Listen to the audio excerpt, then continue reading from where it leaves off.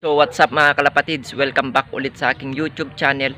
Kung bago ka pa lang po sa channel ko, wag mo pong kakalimutang mag-subscribe at click mo na rin ang notification bell para lagi kang updated sa mga bagong video natin. So today mga kalapatids, pag-usapan nga pala natin yung parapol natin.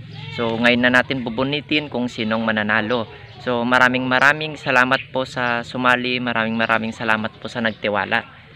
So sa hindi naman po natin mabubunot mga kalapatids, huwag kayo mag-alala. Abang-abang lang po sa ating channel dahil tuloy-tuloy pa rin po ang parapol natin hanggang December. So napakadali lang naman mag-breed kaya nakapakadali rin magbigay. So abot nga sa shipping mga kalapatids kahit napakalayo mo pa. Ako nang bahala sa shipping mga kalapatids dahil meron tayong mga tropa dito na nagtatrabaho sa bus. So marami naman tayong kakilala kaya makakamenos tayo dyan. So, good luck sa inyong lahat. Maraming maraming salamat po.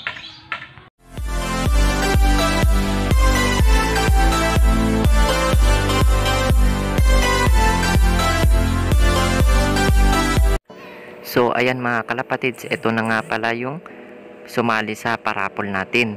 So, sa tansya ko, nasa 300 siguro ito. So, maraming maraming salamat po sa nagtiwala mga kalapatids sa ating parapol. So maraming maraming salamat sa suporta. So magtulungan lang tayo mga kalapatids, wala namang mawawala. So wag tayong maghilaan pababa, maghilaan tayong lahat pataas. So yung mga hindi nga pagpapalain mga kalapatids, huwag kayong mag-alala dahil patuloy tuloy-tuloy ang ating parapol.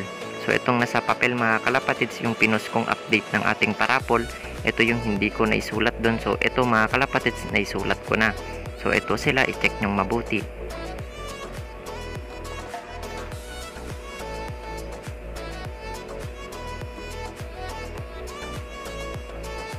So, yan mga kalapatids yung mga hindi ko naisulat kaya guguntingin natin yan para may halo na natin dito sa ating ipaparapol. So, good luck sa mananalo. So, sana magbigay sa'yo ng karangalan tong ibon natin. So, tara mga kalapatids, guntingin na natin tong tong kasulat sa papel para may halo na natin doon sa raffle at masimulan na natin.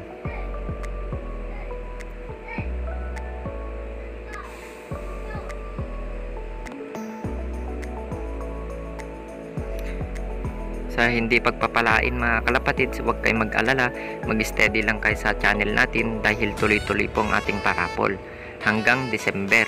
Napakadali lang naman mag-breed kaya napakasimple lang naman magbigay. So sana magbigay ng karangalan itong mga binibigay nating ibon. So maraming maraming ulit maraming maraming salamat ulit sa mga sumali. So ito mga kalapatids ilalagay na natin tong pangalan nila.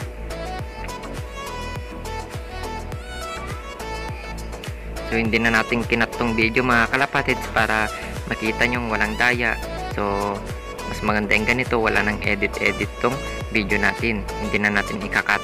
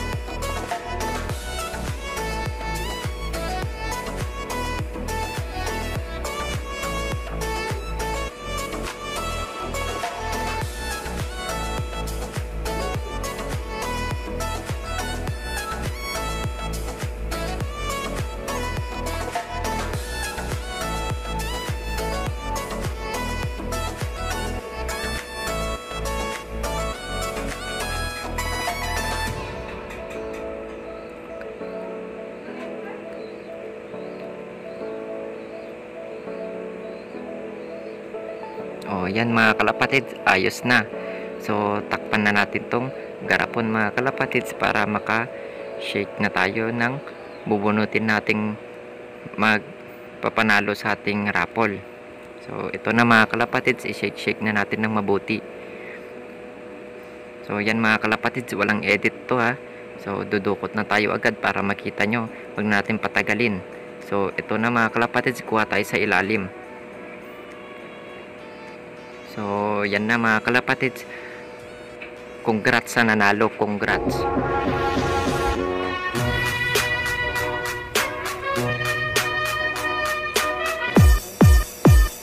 Wow! Congratulations! So, so yun mga kalapatids, ito nga yung nanalo. So, Dandan Asena, Davao City. So, medyo malaki gastos natin sa shipping ng ibon dito mga kalapatids. Pero, i-vlog ko kung paano natin mapapadating yung ibon doon. So, sa Maynila na siguro ang drop ng ibon. Tapos, kukuha tayo ng tao doon na may pupunta sa parkingan papuntang Davao. So, bi- bibigyan natin lahat ng makakaya natin. So, maraming salamat. A few moments later. So, ayun na nga mga kalapatids, no? Meron na nga nanalo. So, ang iniisip ko lang mga kalapatids, sa Davao, napakalayo po yung location ng nanalo sa parapol natin. So, kung sakali mang kakayanin natin na may padala yung ibon, ang iniisip ko naman mga kalapatids, kung kakayanin ba ng ibon na may padala y- ma, na umabot ng buhay dun sa Davao. So, kung mag-PPM siya mga kalapatids, mm, mas mainam siguro na cash money na lang kung ilan yung magagastos na shipping papuntang Davao. Yun na lang yung ibibigay natin. So pera na lang siguro. Kasi kung kalapati mga kalapatids baka mamatay yung kalapati.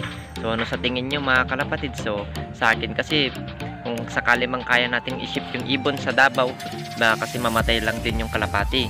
So para naman meron siyang konsuelo na sumali sa atin mga kalapatids kahit malayo siya mas mainam na cash na lang siguro yung ibibigay natin. So, sa mga hindi na bunot mga kalapatids, huwag kayo mag-alala dahil patuloy pa rin po tong raffle natin. So, magsuportahan po tayong lahat, magtulungan po tayong lahat. Maraming maraming salamat po sa nagtiwala mga kalapatids. Kaya ikaw na nanonood, kung hindi ka pa nakasubscribe, pindutin mo na yan mga kalapatids at click mo na rin ang notification bell para lagi kang updated sa mga bagong video natin. So yung nanalo nga mga kalapatids, hindi na natin ipipm so siyang magpipm mga kalapatids para naman ma-check natin na nakasubscribe siya at ma-check rin natin na napanood niya yung video. So, yun lang mga kalapatids. Maraming maraming salamat sa inyo. Happy flying!